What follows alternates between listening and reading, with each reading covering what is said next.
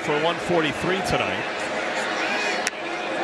Kaleb Jackson is his running back, and Daniels pulls it, takes it himself. He's got the sideline. Jayden Daniels off to the races. And a bend back inside. He takes it to the house.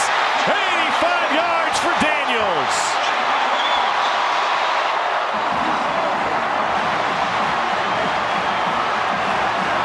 What a for Jayden Daniels.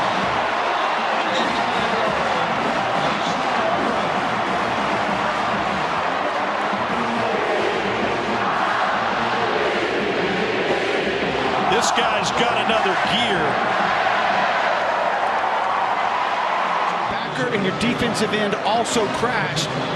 But that safety coming down from the SEC logo, Bryce Thornton has to keep contained. Poor angle. And I thought Jordan Castell was going to be able to catch him and just couldn't, as you mentioned, Tom.